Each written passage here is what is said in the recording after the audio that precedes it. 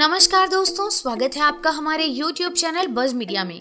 दोस्तों, जब से WhatsApp ने नए प्राइवेसी पॉलिसी को लागू करना शुरू किया है, ज़्यादातर यूज़र्स दूसरे ऐप्स का रुख करने लगे हैं। इस बीच मैसेजिंग ऐप टेलीग्राम ने एक नया फीचर शुरू किया है। इसकी मदद से आप अपने सभी चैट हिस्ट्री बड़ी आसानी से टेलीग्राम में ट्रांसफ़र कर सकते हैं। आइए आपको बताते हैं इसका तरीका। हाल ही में टेलीग्राम ने अपने नए ब्लॉग पोस्ट में बताया है कि व्हाट्सएप की नई प्राइवेसी पॉलिसी के खिलाफ लोगों के विरोध का फ़ायदा कंपनी को मिला है। सिर्फ़ जनवरी महीने में ही टेलीग्राम के 100 मिलियन यूज़र्स बढ़ गए हैं। पोस्ट में जानकारी दी गई है कि अब यूज़र्स दूसरे मैसेजिंग एप्स की चैट हिस्ट्री, वीडियो और डॉक्यूमेंट्स टेलीग्राम में ट्रांसफ़र कर सकते हैं। एंड्रॉइड फ़ोन यूज़र्स को सबसे पहले अपना व्हाट्सएप खोलना होगा। अब यहाँ जिस चैट या ग्रुप को ट्रांसफ़र करना चाहते हैं उसे टैप करें। चैट सिलेक्ट होते ही आपको मोर का ऑप्शन दिखेगा। यहाँ एक्सपोर्ट चैट को चुने। यहाँ एक्सपोर्ट चैट को चुने। अब सामने दिख रहे एप्स के ऑप्शन में टेलीग्राम को चुने और शेयर का बटन दबा दें। आईफोन यूज़र्स भी अपने दूसरे मैसेजिंग एप्स की चैट हिस्ट्री को टेलीग्राम में ट्रांसफ़र कर सकते हैं।